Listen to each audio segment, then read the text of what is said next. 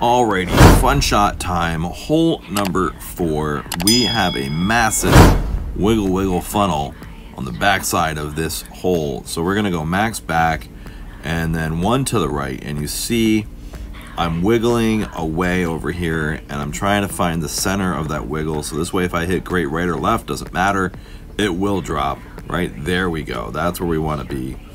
Uh, make sure your ball guide is going through the hole here. We're gonna make our adjustment here at 45% max numbers. I know it seems like an awful big adjustment, but it, it works. Hit perfect, line it up nicely. And I will definitely take this hole in one for the hour that I worked on the other hole.